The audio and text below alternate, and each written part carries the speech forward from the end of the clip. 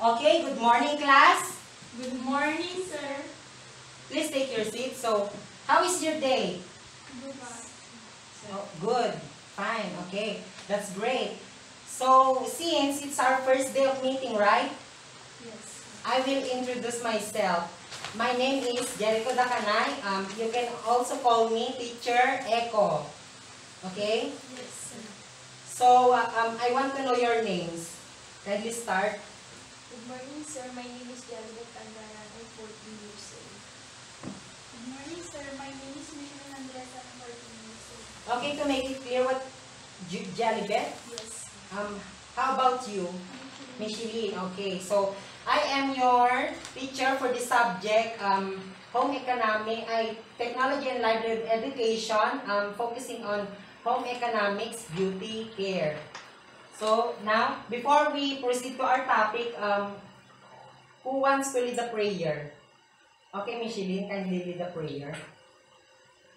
Dear God, thank you for this wonderful day. To be continued to guide us and bless us. Amen. Amen. So, good morning, class. Welcome to my class. Yeah. So, are, are you an avid fan of GMA 7? Yes, sir. Do you know the game Pinoy Henyo? Yes, sir. Okay. So, uh, I have prepared three words and I will give you one minute each for each word to guess. Who wants to volunteer? Okay, come in front. Then, the other one will serve as your, uh, siya yung magsasabi ng oo, hindi. Okay? So, are you ready? Yes. How are you feeling right now? Are you nervous? Excited? Nervous. Okay, so your role is, ikaw yung magsasabi ng oo, hindi, pwede. Okay? Yes. Micheline? Okay, so let's start. Your first word is, and your one minute starts now. Parte ng ulo. Katawan. Kamay. Tuhod. Sa daliri. Puko. Nails. Very good. You got you got it correctly. Now who wants to try the second word? Yes, Micheline, come in front. And you, you try to guess the second word. Ikaw naman ang magsasabi ng oo, pwede, hindi. So, ang clue natin dito ay parts of the human body, external, yung nakikita sa panlabas. Okay? So, your second word to guess is your time, one minute starts now. Um, upper. Uh, lower. No. Um, middle. Yes. Um, hand. Yes. Wow! You got it correctly. That was fast. So, for the last one, um, ikaw na lang. Gusto mo bang ikaw na lang ang sumagot sa pangatlong Yes. ano? Okay. So, your third word, your last and third word is, yeah, your time starts now. Um, nasa taas. Wala. Um, sa uh, kamay. Hindi. Um, wala. Hindi.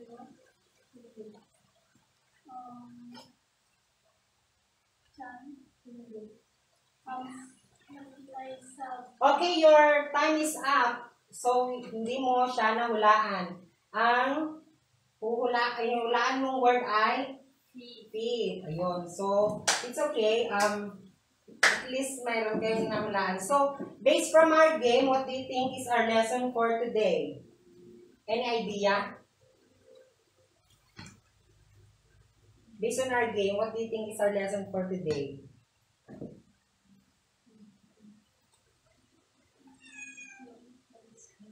You have no idea. So, our lesson for today is about the basic concepts of nail care. History, okay? So, nail care is considered as the proper maintenance of fingernails and toenails. Through periodic maintenance of nails, fungal infection and ingrown nails are not prevented. So alam nyo ba ang ingrown nails? Nakikita na ba kayo ng ingrown nails? Yes. Have you ever experienced it yet? Yes. So, masakit ba? Yes. So, I have here pictures of fungal infection and ingrown nails. So, saan nga ba nakukuha yung mga yan? Any idea? Kung saan natin nakukuha, bakit nagkakaroon ng ganyan ang ating mga kuko? So, fu- fungal infection and having ingrown on our nails are very common um, because um, of, uh, because of the improper way, way of cleaning our nails, right? Dahil yung kapag naglilinis tayo ng kuko, yung mga ginagamit nating tools at yun, um, nas, may- siguro nasusugatan kaya nagkakaganyan ang ating kuko. Okay? So moving on, manicure and pedicure are treatments one can receive wherein nails are groomed. So, moving on, kindly read the definition of manicuring, Micheline. Manicuring, a monastic beauty treatment for the fingernails and hands. It comes from the Latin words manus and means, and tempura means here. Thank you, Micheline. So, it is a cosmetic beauty treatment for the fingernails and hands. And it comes from the Latin words manus means hand. And cura means care. Moving on, um, believe it or not, people have been manicuring their nails for more than 5,000 years. So, napakatagal na pala. Nobility in Babylonia used solid golds to tools to manicure and pedicure their nails. Wow! Gumagamit daw sila ng gold tool, tools to manicure and pedicure their nails. So, napakayaman nila. Right? Yes. Kindly read the next paragraph. Yes, Michelle. Michelle. According to Ming Dynasty, manuscript nails Pali has estimated the in back even further 3,000 when Nico indicated one social stuff. So, according to Ming Dynasty manuscript, nail polish have, has a history dating back even further 3000 BC when nail color indicated one social status. So, ginamit pala ang nail color to indicate one social status.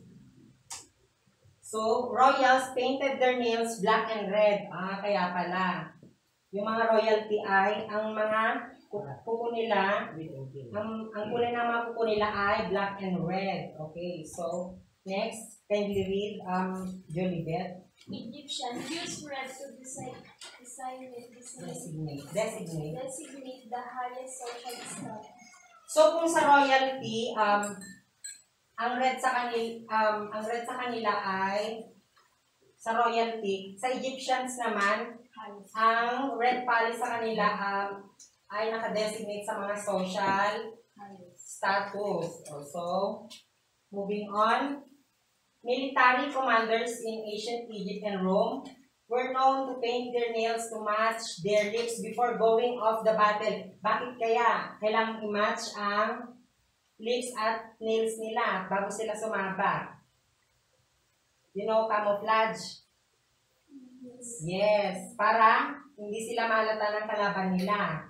Okay?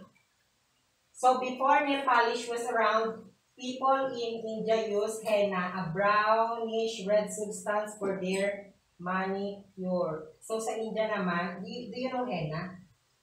Have you tried henna or narinig na ba yung henna na word? It is a um, a tattoo, um, not permanent. So, before, India, yung henna daw ay ginagamit nila sa manicure. So, moving on, kindly read um, Julibet. Over time, fashion, fashionable nails never lose popularity. In the 20th century, different types of manicures came into existence. Artificial glue, on nails became craze for people who did not want to or could not grow their natural nails long. So, may mga tao pa lang nahihirapang magpahaba ng kanilang nails. You, um, have you ever tried to put artificial glue on your nails? Have you ever seen um, artificial nails? Not yet. So, I have here examples of artificial glue on nails. They look so beautiful, right? Yes. So today, nail materials have evolved to state-of-the-art products. Polish comes in every color of the rainbow. Wow. So the French manicure was popular in the 1920s to 1930s and still today is considered as the most popular for fingers or even toes. I have here um, samples of French manicure. Yan. Pagmasdang mabuti.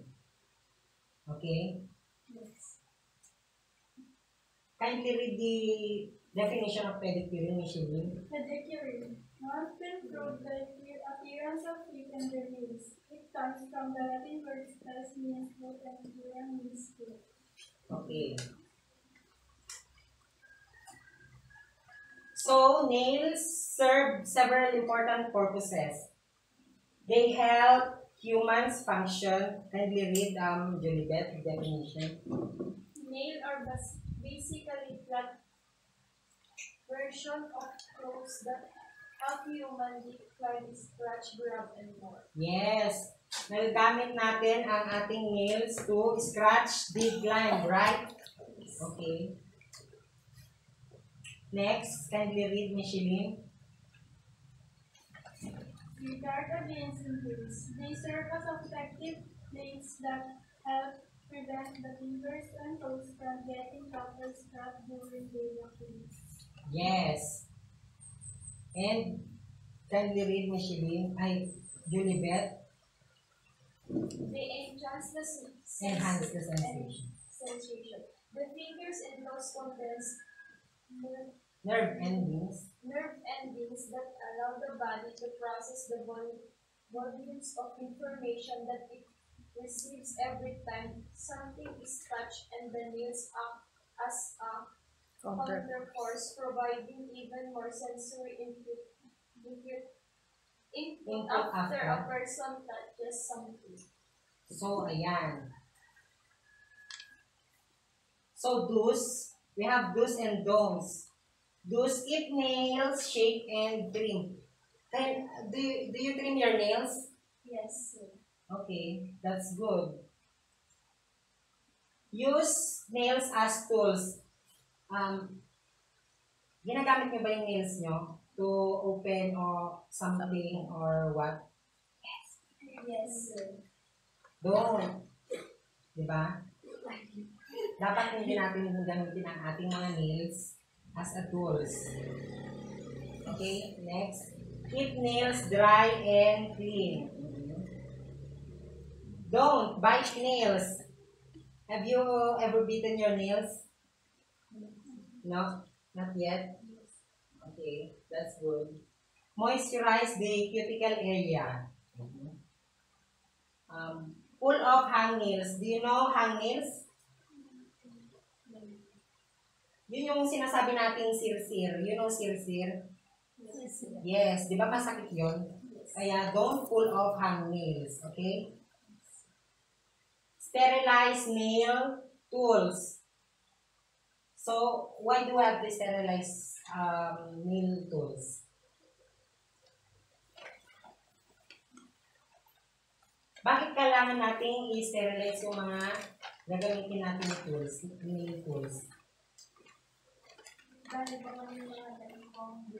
Yung? Yes, very good. We have to sterilize nail tools to prevent bacteria um, to create diseases, right? So, don't overuse polish remover. So, kayo, kapag nagtatanggal kayo ng, ng nail polish sa mga kuko nyo, gumagamit ba kayo ng polish remover? Acetone or what? Yes. Don't overuse polish remover. Kasi masasaktan yung ating mga kuko. Okay? So, disinfect tears or cuts on the cuticle and push the cuticle back too far. Kapag tayong naglilinis, huwag natin daw isagad kasi masasaktan yung cuticle natin. Okay? And treat ingrown and torn nails as soon as possible. Okay? So, that concludes our lesson for today. Do you have any question? Okay, if not, um, let's have an activity. So, I have here prepared an activity.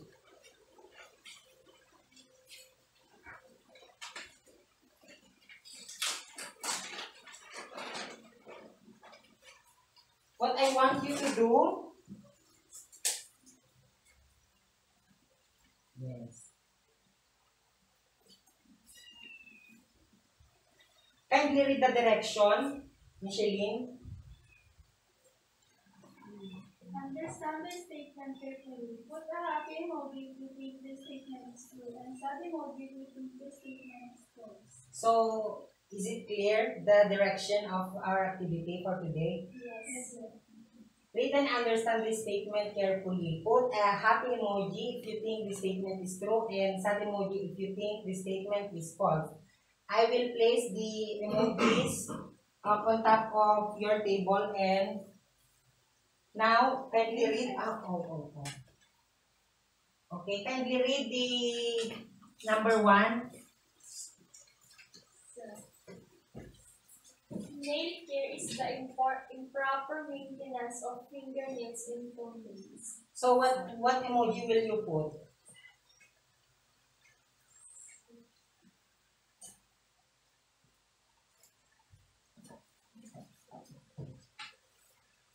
Mm-hmm. Okay, number two, Micheline. Through periodic maintenance of nails, fungal infection and ingrown nails are not preventable. What emoji will you put?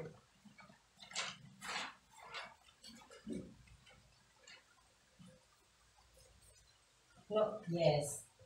And number three, Julibet. Manicure and pedicure are treatments one can receive wherein nails are blue.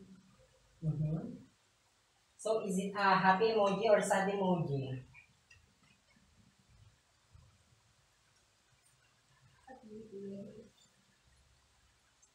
Number four, kind manicuring is a cosmetic beauty treatment for the two nails. Manicuring is a cosmetic beauty treatment for the two nails. Is it a happy emoji or sad emoji, Micheline? Okay. Mhm. Number five. Nails are basically flat version of tools that help human being climb, scratch. Is it a happy or sad emoji?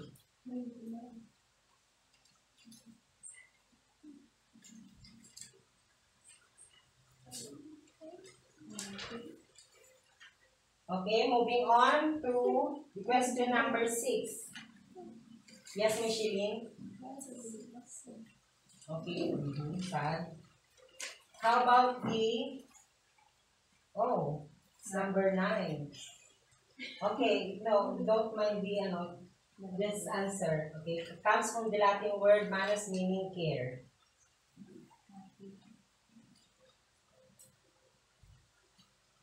Mhm. Oh, all right. Okay. Number eight.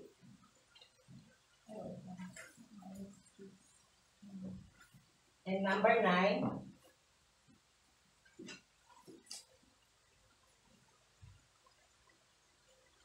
And last, number 10, the nail serves as protection for the fingers and toes and are made up of different parts. Is it a sad or happy? Okay, so let's check your activity. So nail care is the improper maintenance of fingernails and toenails. So you answered sad emoji. Why? because of the word improper. Right? Yes. Okay. What should be the word? It proper. Proper, very good. So, let's move to number two. Through periodic maintenance of nails, fungal infection in ingrown nails are not prevented. You answered happy emoji. Yeah, correct. Manicure and pedicure are treatments one can receive wherein nails are groomed. Happy, correct? Yes. Manicure is a cosmetic beauty treatment for the two nails. You answered happy, ay, sad emoji. Why? What is the word that's uh, make this statement false? Manicuring is a cosmetic beauty treatment for the toenails. Manicuring. So what is manicuring? Toenails. No? Very good. Toenails. What, ano ang dapat na word na nandyan?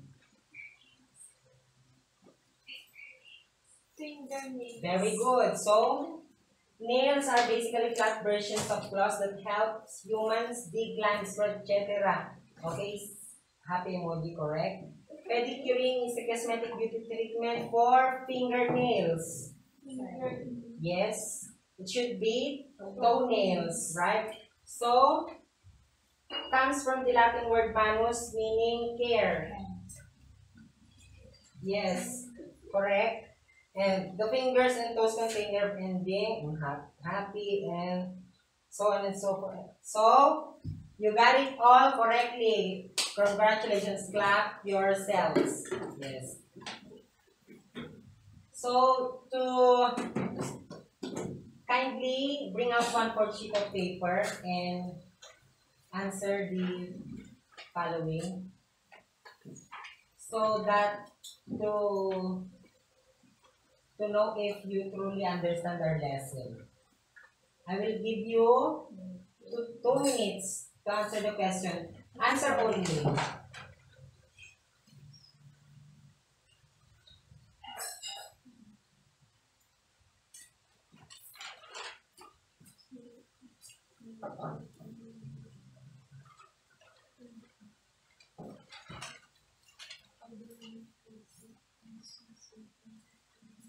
Okay, so time is up. Now let's check your papers. Okay, so number one is yes, manicuring is the answer for number one. Number two, yes, Micheline, it's henna. Very good.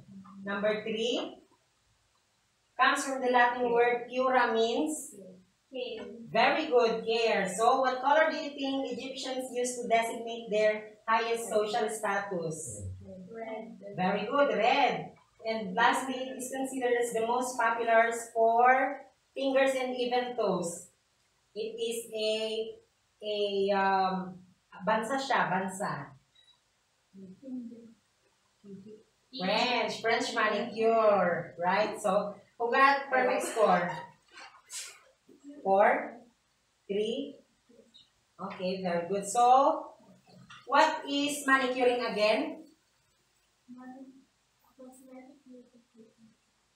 Yes, Micheline, you're, you're, you're saying a... Can you share your, your thoughts? What is manicuring again?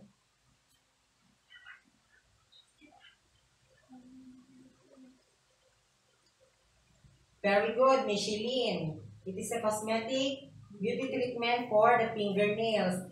So, how about pedicuring? Yes, Julibet? It's a cosmetic beauty treatment for the toenails. Very good, Michelle, ay, Junibet. So, what do you think um, is the advantage of having clean nails? Anyone from the class?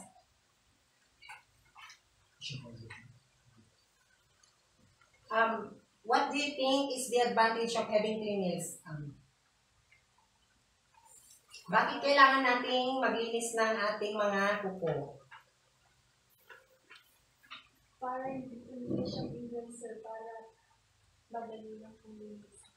And one thing more, um, clean nails is a uh, re- reflection of person with good hygiene, right?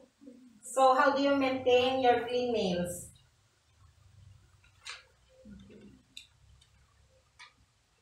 By simply trimming, uh, yeah, trimming your nails and removing the dirt of your nails, right? So, for your assignment, search for the different tools using nail care services. Differentiate tools, materials, and equipment used in nail care services. So, that would be all for today. Goodbye, class. Bye. Bye.